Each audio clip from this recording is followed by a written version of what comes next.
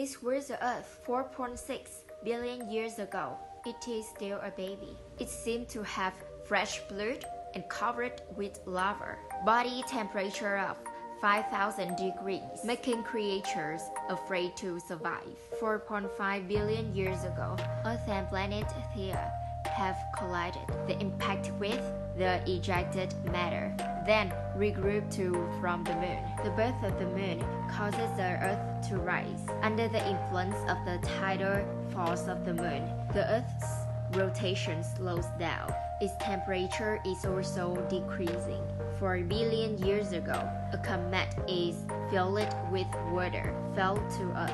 All the water in it pours down to the Earth produce a torrential downpour of 300 years. From that, the Earth has changed dramatically, become a beautiful blue ocean planet. Plants also learned to photosynthesize 3.7 billion years ago. Plants grow fast.